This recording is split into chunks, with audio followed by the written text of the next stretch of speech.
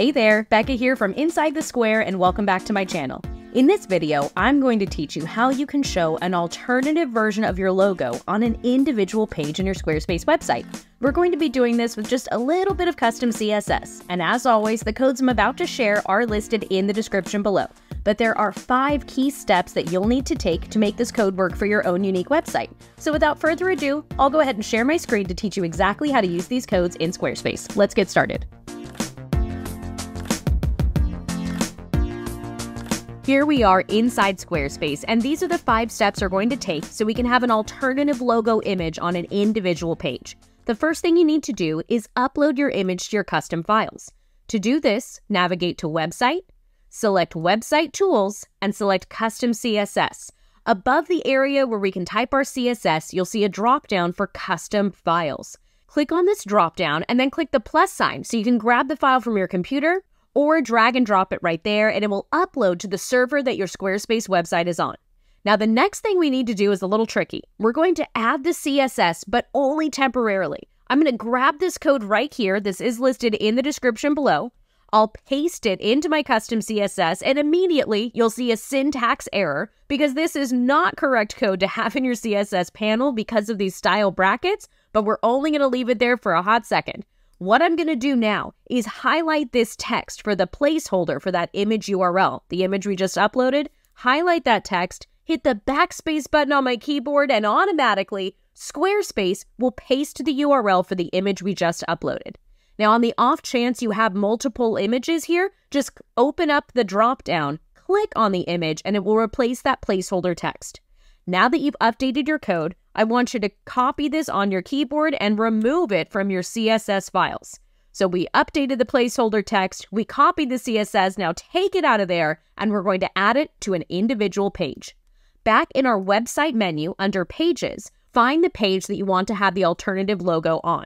Click on this gear icon and select Advanced and paste your code right here. Now, in page header code injection, you can have different types of code. So that's why we had to add these style brackets to say, hey, computer, this is CSS that we want on just this page.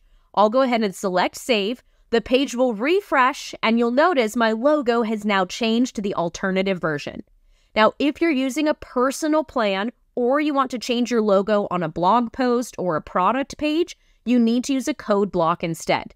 Clicking on this gear icon right here, we'll go back into advanced, we'll get rid of that code and select save, and we need to hop into edit mode. To add this code block, I want you to select add block in the very first page section for your individual page. Don't do this in the footer. This needs to be on the page. I'm going to double click on this code block and paste my code right here.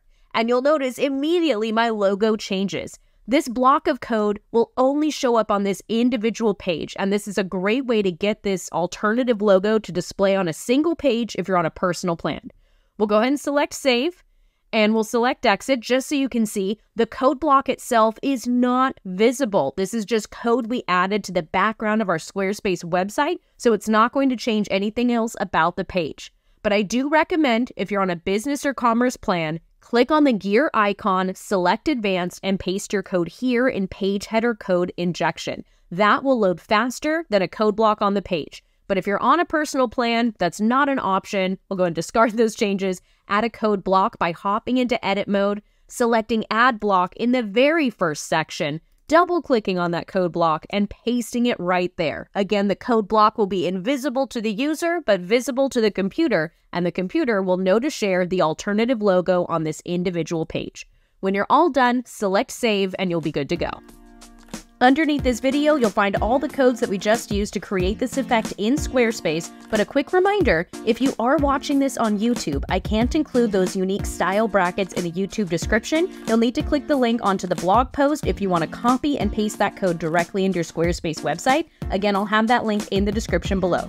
You'll also find links to other related content down there, so if you enjoyed this tutorial, give the video a like and check out some of the other content I've created that can help you make Squarespace uniquely yours. Thank you so much for watching this tutorial, and most importantly, have fun with your Squarespace website. Bye for now. Find everything you need to make Squarespace uniquely yours at InsideTheSquare.co.